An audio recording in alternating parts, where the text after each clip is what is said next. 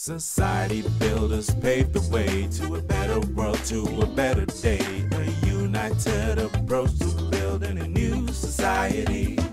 Join a conversation for social transformation.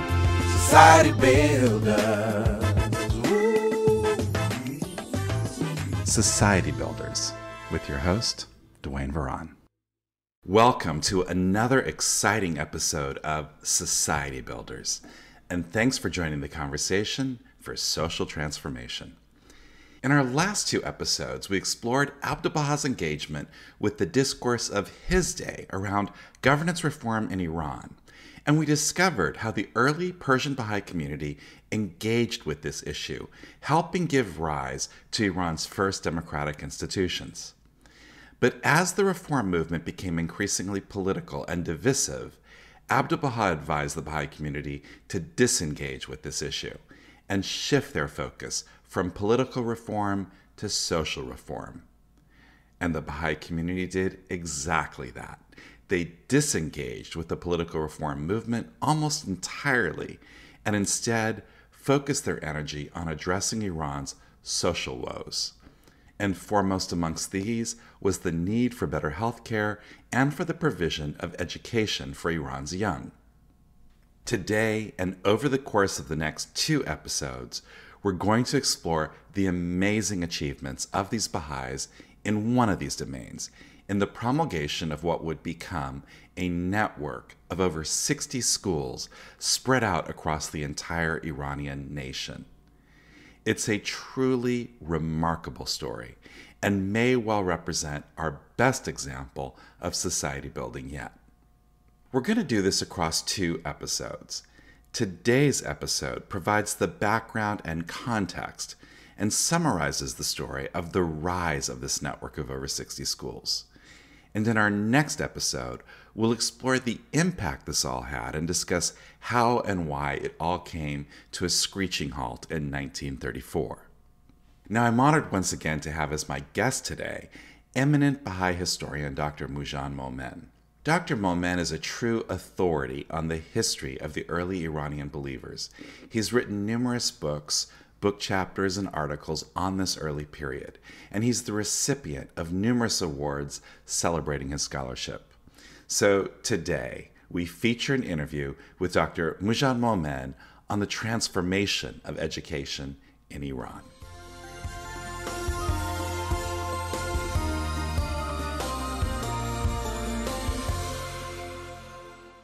Jan, welcome once again to Society Builders. Well, thank you. Thank you for inviting me. It's a great pleasure to be back. Now, Moojan Jan, today we're going to talk about educational reform in Iran. Specifically, we're talking about the network of schools which Baha'is in Iran opened in the early part of the 20th century, acting on Abdu'l Baha's counsel, you know, creating a network of over 60 schools all across the country. I mean, it's such a remarkable story. Let's start today's journey by helping paint a picture of what the education system in Iran was like prior to the opening of the Baha'i schools there. You know, I've read one statistic that claims that the literacy rate in Iran as late as 1950 was 13%.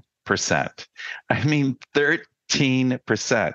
It's almost like the entire society was entirely illiterate.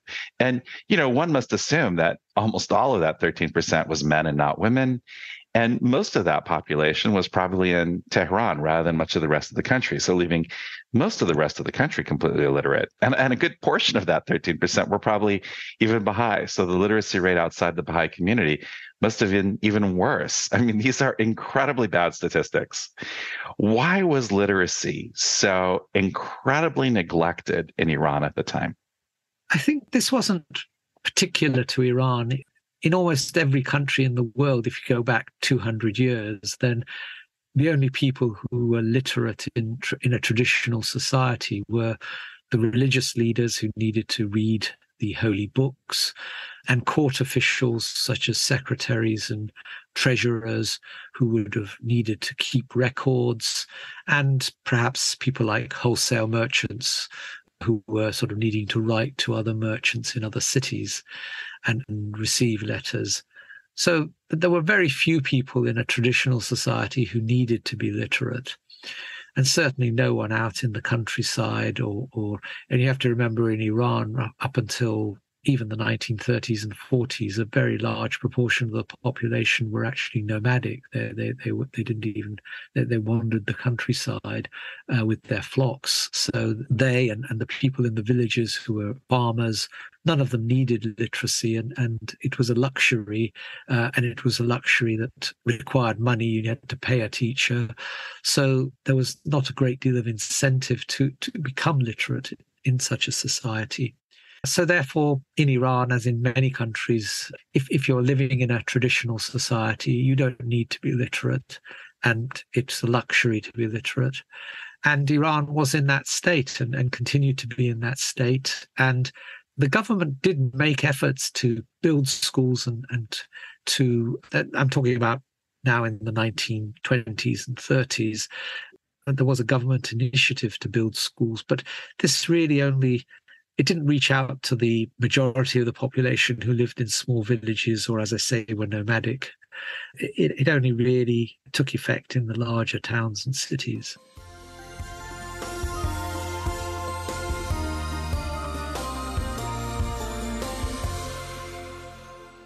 So, what was the education system like in Iran before Baha'is began opening our schools there? The traditional education in Iran was the, what was called the Maktab, which was uh, you could translate that as a traditional school, if you like. Uh, and there you would have a, a teacher who was very often a, a, a mullah, a, a religious, a, cleric, who would teach the children basically to read the Quran, but because in Iran uh, the Quran is in Arabic, they didn't understand what they were reading. They could just read the words, so they and they memorized part part or all of the Quran. So so they were they were taught elementary reading and writing, and they could would be taught to memorize Persian poetry, for example. But what you would have is just the teacher sitting on the ground in the middle of a circle of children of all different ages and abilities uh, in a single class there'd be a lot of rote learning whereby they just recited after the teacher words and, and try to commit these words to memory. There was a lot of corporal punishment handed out. You could expect to be beaten once or twice a day at the very least as a child.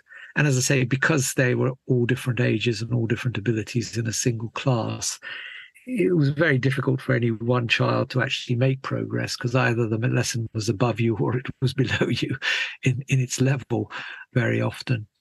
So that that's what went on, and they, it would be a small group of children, maybe eight or ten. It, it would they they would have to pay the mullah, so it would only be the more affluent children who, who could even gain this much learning, and that they would pay, pay the mullah to come along and be taught these few sort of very elementary skills of, of reading the Quran, reading and writing Persian, and memorizing some poetry and so on.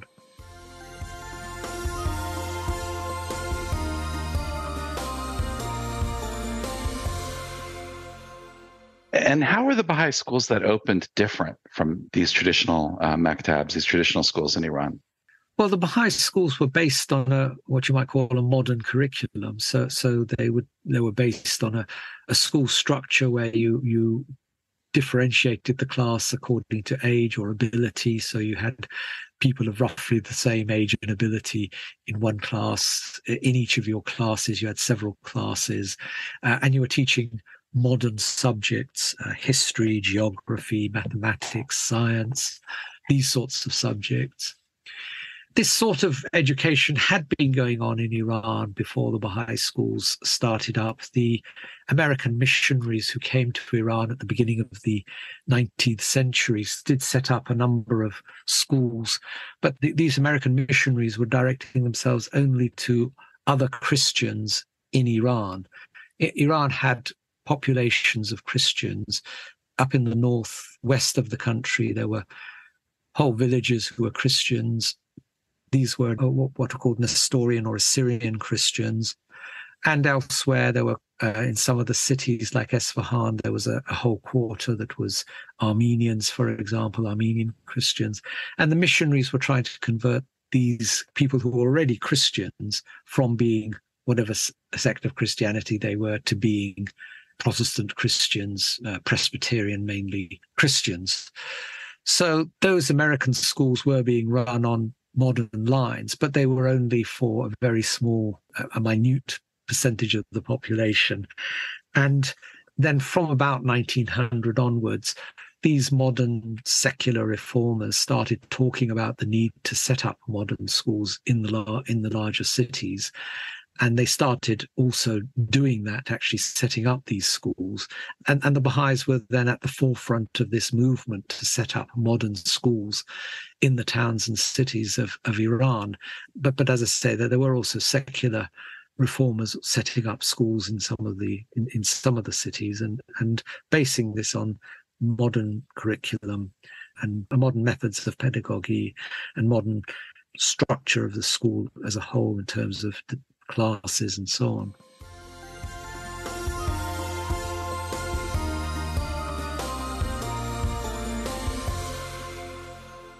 How did the first of these schools get set up?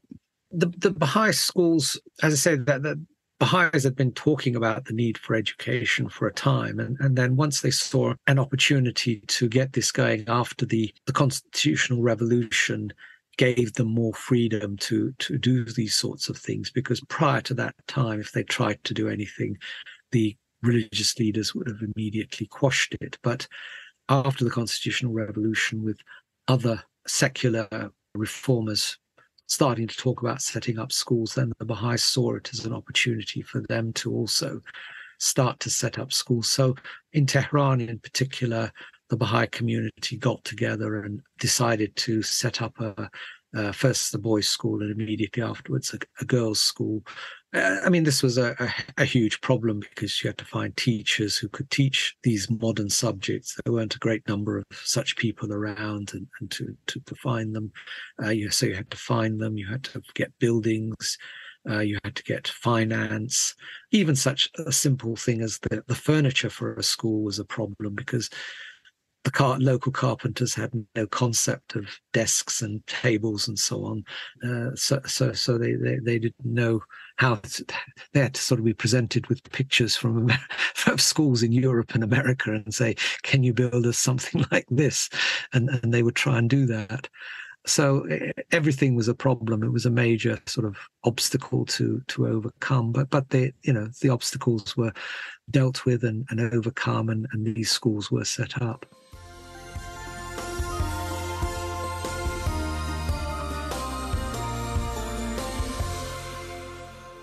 You, had mentioned earlier that you know that the Baha'is in Tehran set up a, a, boys' school and then immediately after set up a girls' school, and that really was a common feature of these schools.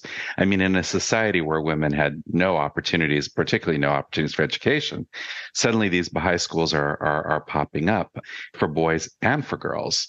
And this was something that Abdul Baha really insisted on. Maybe you could tell us a little bit about how that process unfolded.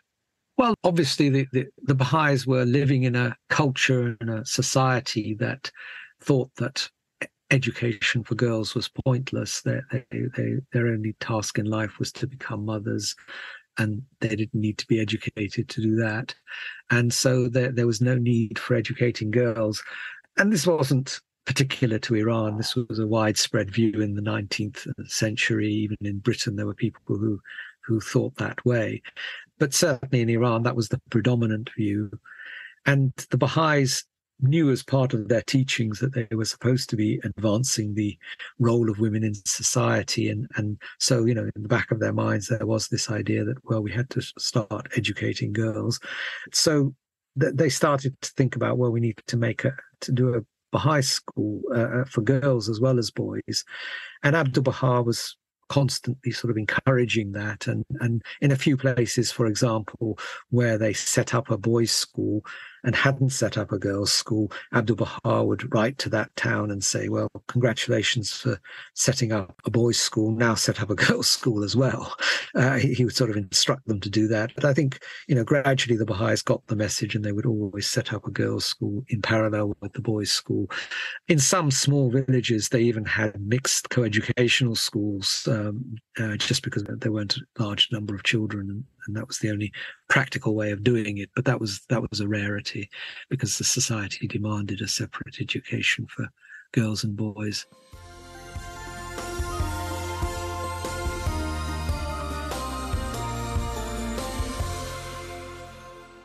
How did the network spread so effectively? How did how did it grow from that first school in Tehran to, you know, this network of over 60 schools all over the country, even even in very small towns and villages? Yes, so the modernist reformers were setting up schools in the larger towns and cities, but the Baha'is went much further and started to set up schools even in small towns and villages. No one thought that this was even a viable prospect. For example, in one small town in the south near Shiraz, where the Baha'is started to set up a school, the governor called one of the leading Baha'is to Shiraz and said to him, We can't even get a modern school set up in Shiraz. How do you expect to set up a school in your small town? It was just sort of inconceivable to them that this should happen. But the Baha'is, because they had it as part of their teachings, because Abdul Baha was encouraging them, because they saw the Baha'is in the larger towns and cities setting up schools and, and educating their children, think, started thinking, well, we want this for our community as well. And, you know, wherever, in whatever town or village there was a large large enough community, they started to think about, well, can we get a school going here? And again, they, they were faced with exactly the same problems finance, buildings, furniture, finding a teacher who would be prepared to come from the big city to the small village and, and uh, teach the children there. All of these things they had to overcome, but but they had the drive to do it. And in, in many, even small villages, it was done, and, and Baha'i schools were opened and they were very often the only school. Well, in fact, in almost every case where, where we're talking about a village, that that was the only school in the village. So even the inhabitants of the village that weren't Baha'is would often would often send their children to the school because they recognized the importance of education for their children let's put it another way those people in the village who recognized the importance of education for their children had no choice but to send their children to the Baha'i school. And so they did. And very often these were the leading members of society in the village or the or the small town. So the Baha'i school would get prestige from the fact that the children of the leading citizens of the village were were coming to to the Baha'i school and yes, so so that that's how the network spread. It was basically Baha'is in each locality deciding, well, other towns are doing this, other Baha'i communities are doing this. We we need to do this as well for our children.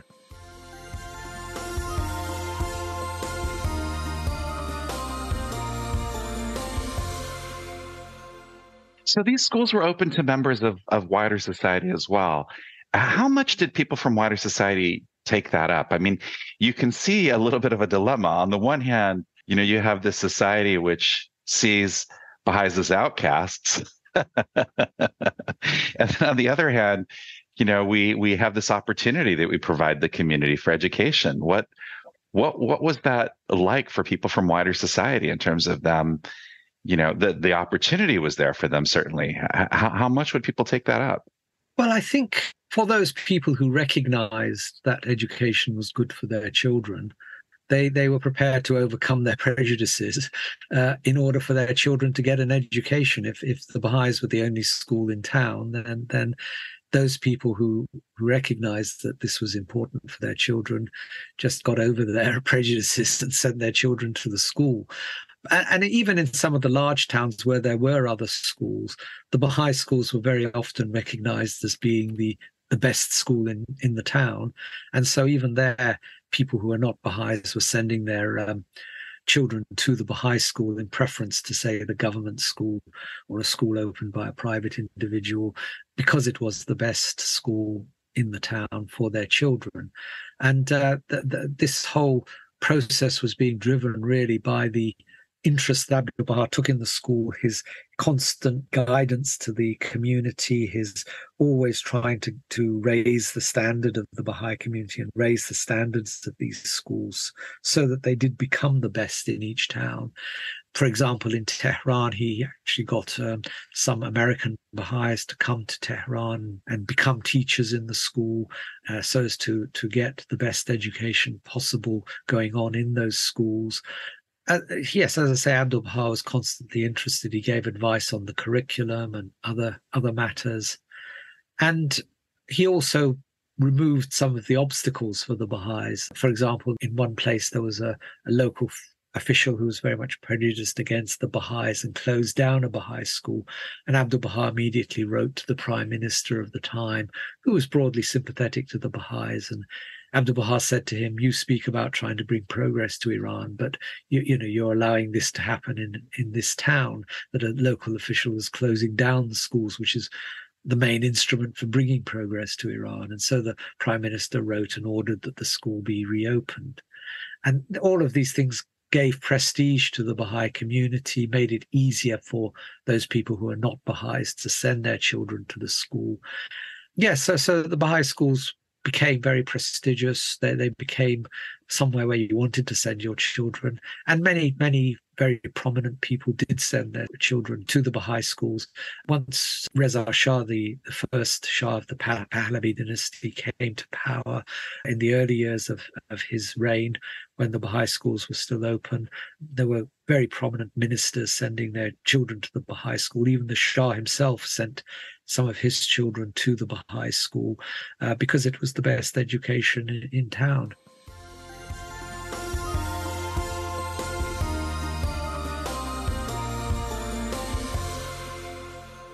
And of course, the contribution of the Baha'i community to this discourse transcended just the idea of the modern curriculum. It was also new ideas around how to discipline children.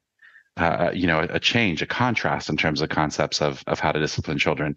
Could you tell us a little bit about that dialogue at the time, that discourse at the time?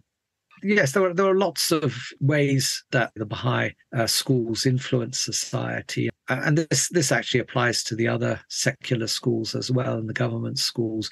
There there were modern ideas about sport and physical education, for example, that that were being spread. But the Baha'i schools were particular in leading the way to gradually eliminating corporal punishment, physical discipline previously this had been universal in these schools in Iran even when schools transitioned from the from the traditional maktabs, the traditional schools, to modern schools, there was still a lot of beating going on of children. Uh, it was considered the right way to educate children. And that wasn't just in Iran, that, that was universal in, in Europe and, and North America as well. And the Baha'i schools, again, this was a gradual process. I'm not saying that as soon as the Baha'i school was built, the, corporal punishment, physical punishment was eliminated. But over the years, an understanding grew in the Baha'i community, helped on by Abdul Baha and Shoghi Effendi, that this was inappropriate way of treating children, and and therefore that that it should be eliminated. And gradually, it was eliminated from the Baha'i schools, and many of the Baha'i schools led the way in that in Iran. And in particular, the hand of the cause, Mr. Ali Akbar Furutan, forbade all corporal punishment in the Tarbiyat school during the time that he was the headmaster of that school. And in later years, he went on the radio in, in Iran and gave talks eh, which were focused on family life. But as part of their talking about family life, he strongly discouraged hitting children at home as well.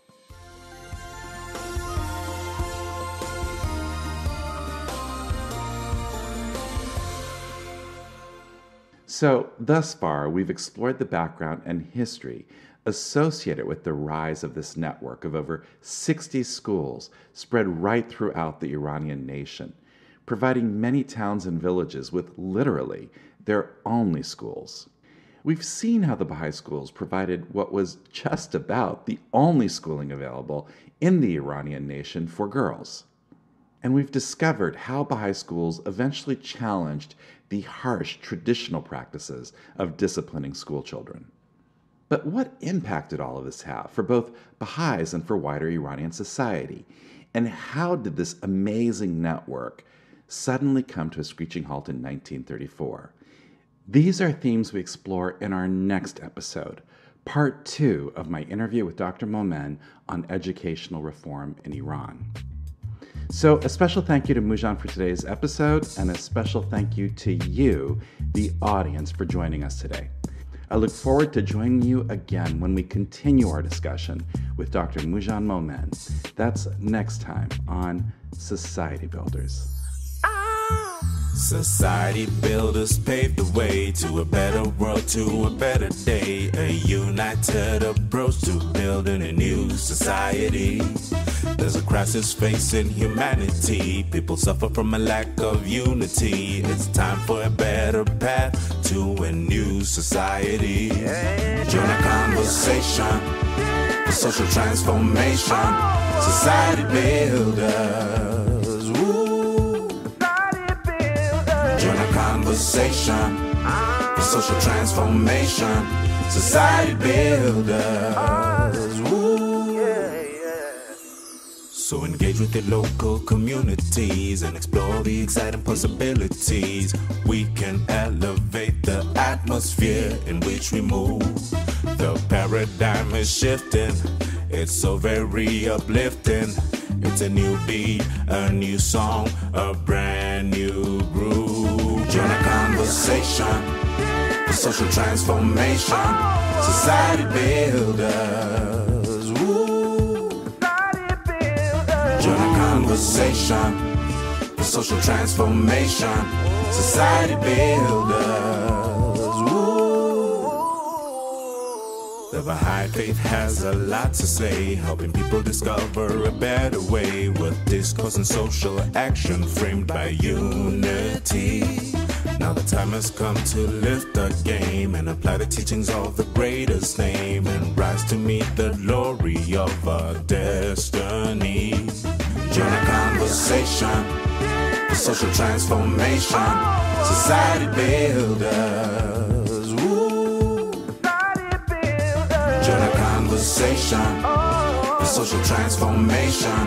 Society builders.